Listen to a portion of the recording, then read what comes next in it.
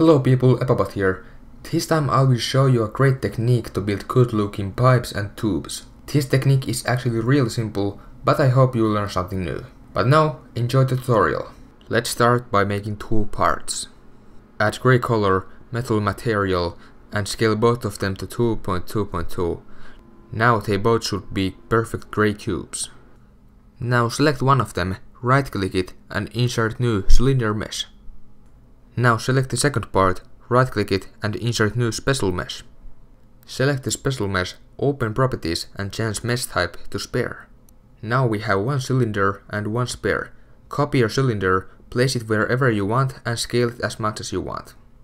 Now copy your sphere, place it on top of the cylinder and move it down until you can only see half of the sphere. Now copy your original cylinder and place it inside the sphere we just moved. Now rotate your cylinder as much as you want. Then halve the cylinder by scaling it. Then scale your cylinder as much as you want. And now you can keep repeating these steps to build awesome pipes, tubes or whatever you call them. You can do this with any size, you just have to do some simple math to make this work properly. I think that's all for this time. I hope you enjoyed this small tutorial video.